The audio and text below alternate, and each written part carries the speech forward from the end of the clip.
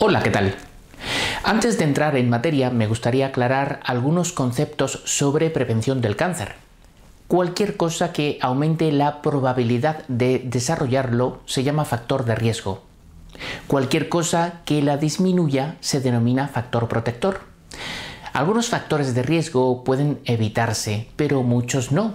Por ejemplo, tanto fumar como heredar ciertos genes son factores de riesgo de algunos tipos de cáncer, pero solo fumar puede evitarse. El ejercicio regular y una dieta sana pueden ser factores protectores para ciertas enfermedades. Evitar los factores de riesgo y aumentar los factores de protección puede reducir el riesgo, pero no significa que no se vaya a padecer cáncer.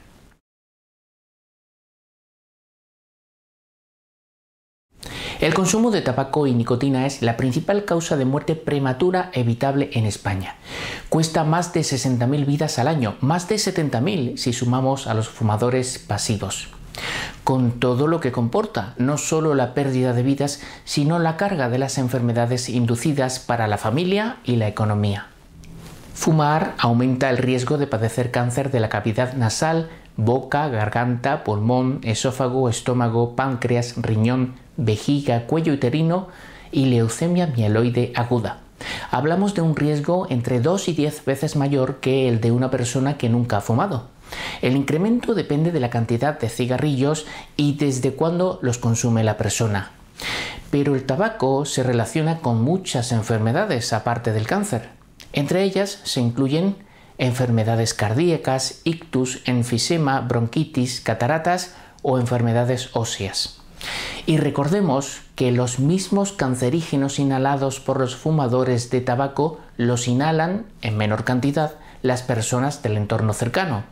Estas tienen un mayor riesgo de padecer cáncer de pulmón y enfermedades coronarias, pero los niños tienen mayor riesgo de padecer el síndrome de muerte súbita del lactante, de que les empeore el asma, de que tengan más infecciones de oído y de que tengan más problemas respiratorios como infecciones pulmonares, tos, sibilancias o dificultad para respirar. Dejar de fumar mejora la salud de los fumadores de todas las edades. Las personas que dejan de fumar reducen el riesgo de cáncer de pulmón entre un 30 y un 50% al cabo de 10 años, en comparación con las personas que siguen fumando, y reducen a la mitad el riesgo de cáncer de boca o esófago en los 5 años siguientes a dejar de fumar.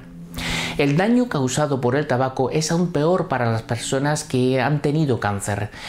Aumentan las posibilidades de recaída, de nuevos tumores y de padecer los efectos adversos a largo plazo de los tratamientos. Se han estudiado diferentes formas de dejar de fumar. Repasemos los métodos más utilizados para conseguirlo.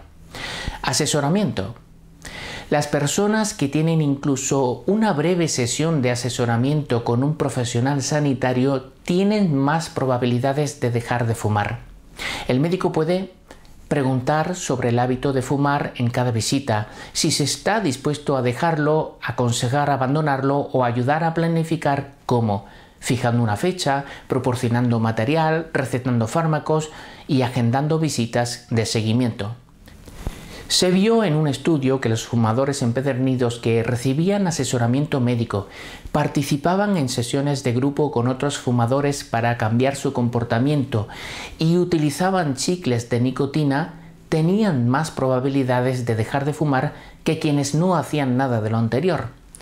También presentaban un menor riesgo de cáncer de pulmón, otros tipos de cáncer, cardiopatías y enfermedades respiratorias. Tratamiento farmacológico. El médico puede recomendar esta opción si se quiere dejar de fumar, se ha intentado pero no se ha conseguido. Aquí se incluyen los productos de sustitución de la nicotina y los medicamentos sin ella. Las personas que utilizan cualquiera de estos fármacos tienen más probabilidades de dejar de fumar al cabo de seis meses que las que utilizan un placebo o no se medican.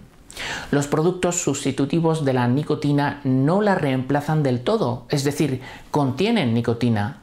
Para reducir la cantidad de nicotina suministrada se reduce lentamente el uso del producto.